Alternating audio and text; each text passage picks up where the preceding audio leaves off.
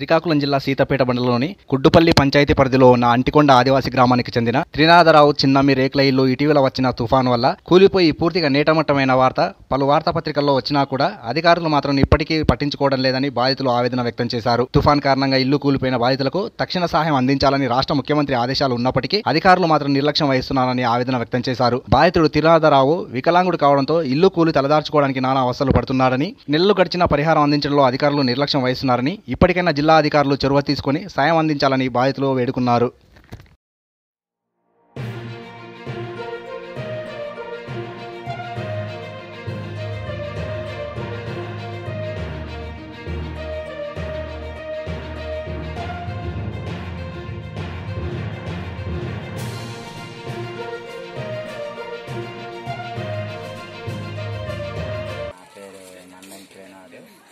అది అంటికొండ విలేజ్ కొట్టపల్లి పంచాయతీ సిదంపేట మండలము.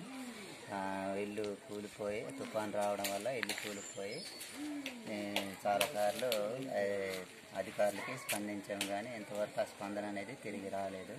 దీనికి ఏదైనా మీరు ఇది చేస్తారని నేను కోరుకుంటున్నాను